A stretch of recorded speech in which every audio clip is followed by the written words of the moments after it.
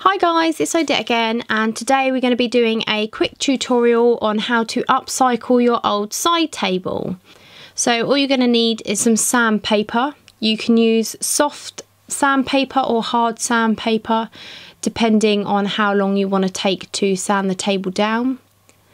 And an old paintbrush. This is one that I've already used on the other side tables that I've upcycled and some paint. I'm using non-drip satin in pure brilliant white by Crown. And you're also going to need something to put on top of your table. I'm just using a bit of wallpaper that I got from a local hardware store. And the last thing you will need is an old kitchen cloth or piece of kitchen roll. So rip your sandpaper in half and we're going to start sanding the top of the table. I'm just going to go around all of the edges and then work my way into the grooves that are in the table. And I'm going to do all of the legs and the sides as well with the sandpaper. So excuse my crazy outfit. Um, I was having a relaxing day and I felt like doing a bit of a DIY project. And yes, they are my pyjama bottoms.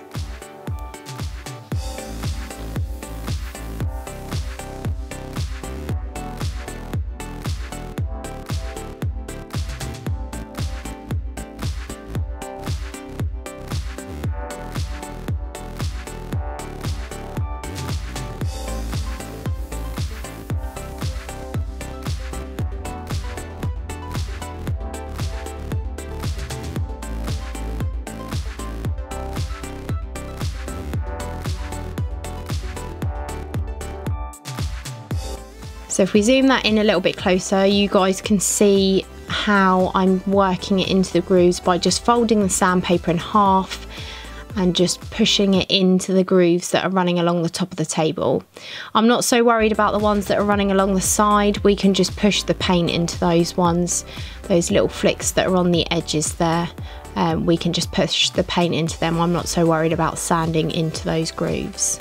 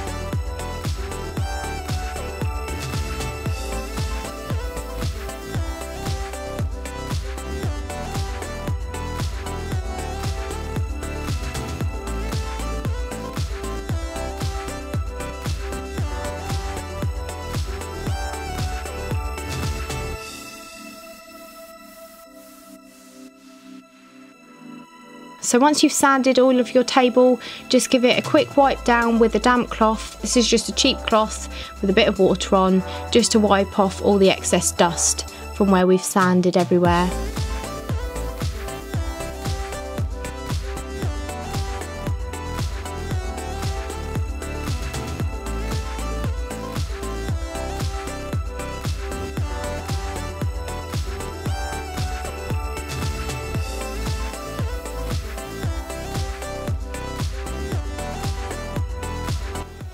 And now I'm going to get my non-drip satin paint which is normally used for radiators, doors, door frames and as you can see on the tin, banisters on stairs as well it can be used on. And I'm just going to use this as a base coat to go all over the table. Now I'm probably going to do a couple of coats as it probably won't take on the first go, but I'm just going to push it into all of those grooves as well and go all the way over the table, all the legs first, and then I'll turn it up the other way so that I can do the top of the table.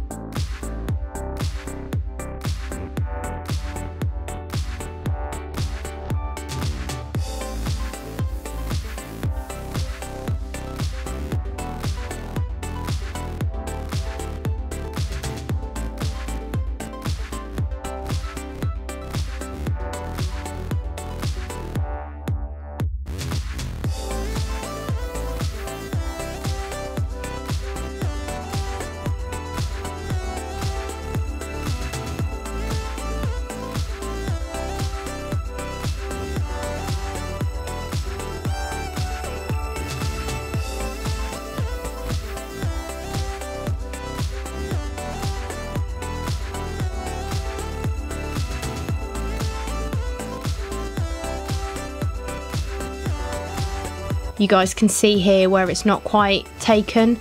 So I'll give it another coat once this is dried and just make sure that it's completely white and there's no dark spots showing through anymore.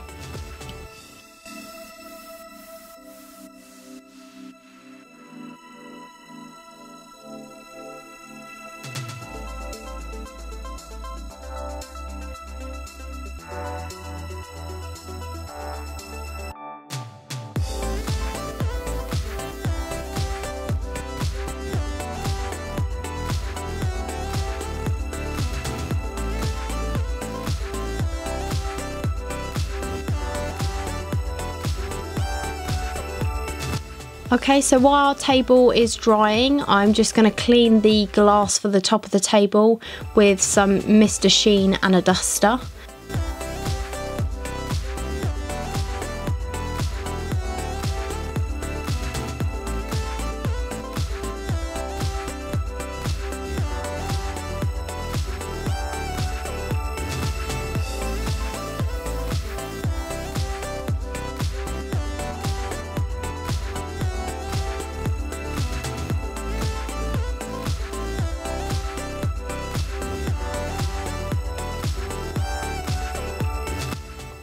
And what I'm going to do now is get my wallpaper and I'm going to measure it around the plate of glass so I get an idea of the size it needs to be so that I can cut off all the excess.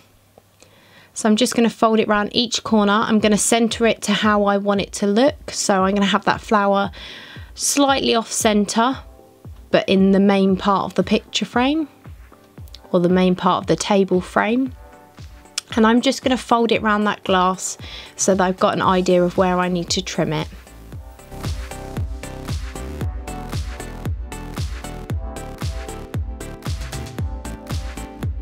So I'm just going to fold all those edges and make them really sharp so I know exactly where I'm cutting.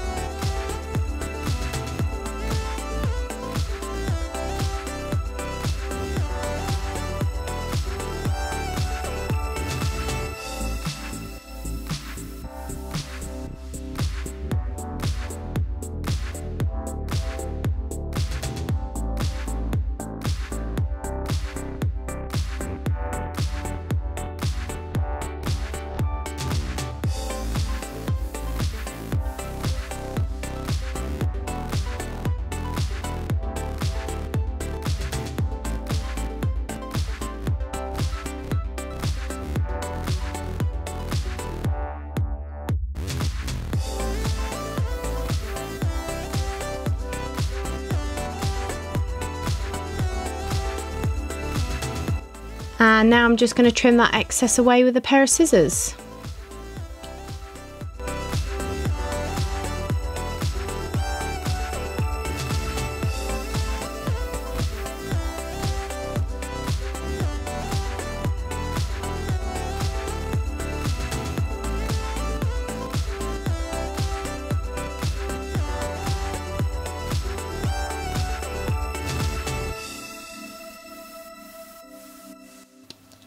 So I'm just going to check by putting that on the top of the table that the excess that I've trimmed off is enough and that it definitely fits. And I need to cut some extra off because it's not quite fitting and I don't want it folding up the edges too much.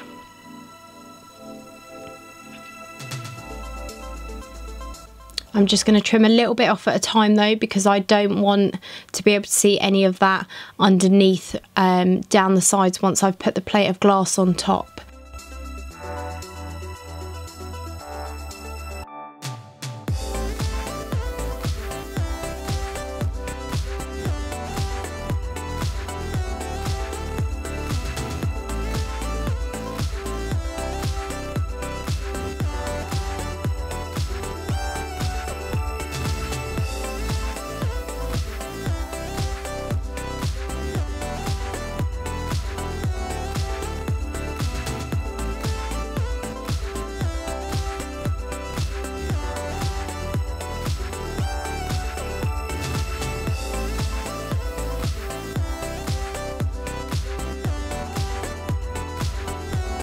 So I'm just going to lay my picture on top and then I'm going to put the glass straight on top of that. I'm not going to glue it down, I'm just going to leave it as it is so that if I ever want to change the picture, I can just take the glass off and put something else on top.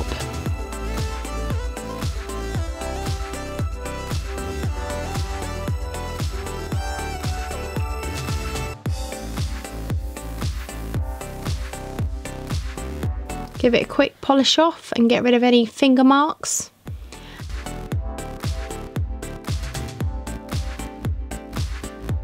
And there is my finished table. So on this one I just used the non-drip satin paint but you can use normal DIY wall paint as well on your tables. These ones have just been coated with the non-drip satin to start with and then used a colourful paint over the top. The first one was using Marvel wallpaper from a local DIY store and this one is old Chelsea tickets from when we've gone to matches. And the final one is a Disney themed one. Thanks for watching guys, I hope you enjoyed. Don't forget to give this video a thumbs up if you enjoyed and don't forget to subscribe for more DIY videos and how-tos. Bye!